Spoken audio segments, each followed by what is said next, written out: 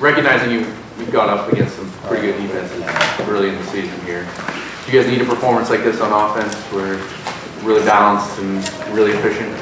Uh, yeah, I think you know we want to play well every single game, but uh, you know I felt like we were right on the cusp of really getting after somebody. I think I said that last week too. Is you know we would have a couple drives. Seems like last couple games where you know we're moving, we're moving, then something happens and, and puts us back. So you know I thought we were primed and ready for kind of a breakout performance, and you know I think we're we're kind of learning the blueprint of what we want to be on offense even more and more every week, and.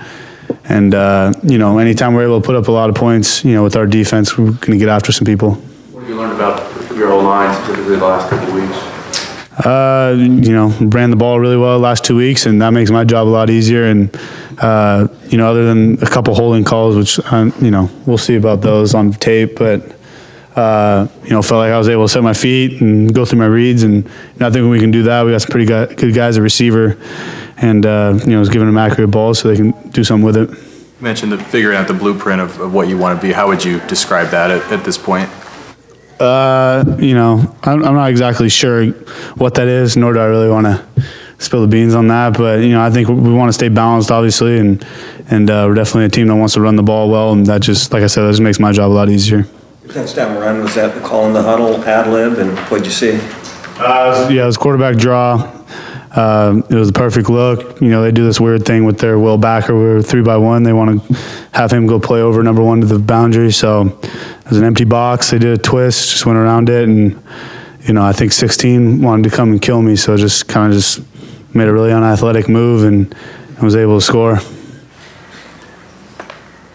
What would you say that, uh, that Myles means to the team, Gaskin? Uh, yeah, I mean, Myles, when in doubt, hand the ball off to Myles is, is kind of my thing on some of these RPO stuff. And, you know, unless we get the look that we really want. So, uh, yeah, I mean, I think he's a guy that I've, I think I've said this for a really long time is the biggest thing Myles does is he turns like three yard runs into seven yard runs.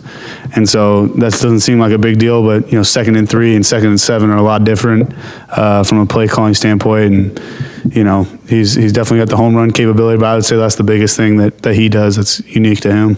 Have you talked to Cody Pickett this week at all, or heard anything? No, I, I don't know Cody really at all. Uh, uh, you know, I know a lot of the, the Husky quarterbacks that come around, but I've, I haven't met him. When did you find out that, or when did you realize that you became the all-time leading passer at Washington? Um, our, our SID told us, told me, I guess.